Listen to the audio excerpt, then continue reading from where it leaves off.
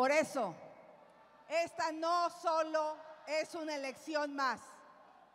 Esta es la elección más importante de nuestras vidas.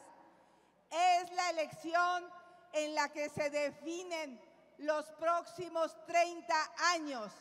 Tenemos que ganar, no solo para ganar una elección, no solo para ganar la presidencia y el Congreso. Tenemos que luchar para traer vida donde hoy se pasea la muerte. Tenemos que luchar para traer verdad a donde hoy reina la mentira. Tenemos que luchar para defender la libertad ahí donde hoy gobierna el miedo. Vida, verdad y libertad